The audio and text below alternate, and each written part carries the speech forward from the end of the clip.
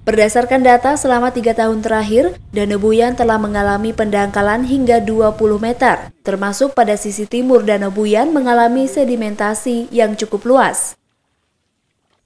Bahkan kondisi air Danau Buyan saat ini dinyatakan sudah tidak layak untuk dikonsumsi akibat parahnya pencemaran yang terjadi. Dalam upaya pemulihan danau ini, Pemka Buleleng melibatkan semua komponen, baik pemerintah pusat hingga masyarakat di sekitar danau.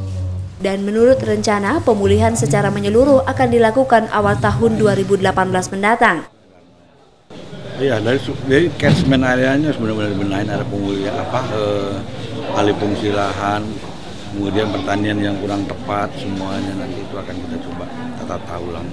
Tapi tadi dari dari BPDAS tahun ini sudah mulai akan mem membangun tanggul-tanggul uh, penahan erosi juga di beberapa tempat di 10 tempat. Kita harapkan di 2018 semua semua teman-teman sudah menganggarkan. Masuk dalam kawasan konservasi sumber daya alam Provinsi Bali, berbagai tempat wisata bermunculan di sekitar